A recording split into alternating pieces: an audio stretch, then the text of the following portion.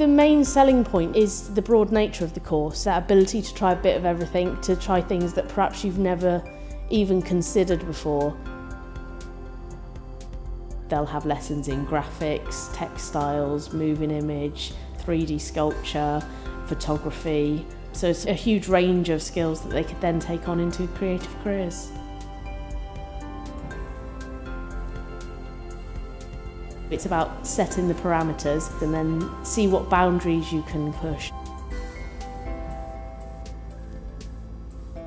You've got a, a team of, of very creative people, people that have worked professionally within industry that are really passionate about what they do and making sure we get the best out of students. I think it is about building the platform for them to go off into careers. Apprenticeships have become a huge growth area in our section and something we're looking to grow even more. Where's this going? What are they going to get at the end of it? You've got to be able to present those options. We can definitely cater to anyone if they want to express themselves through any aspect of art and design then we can cater for what they want to do.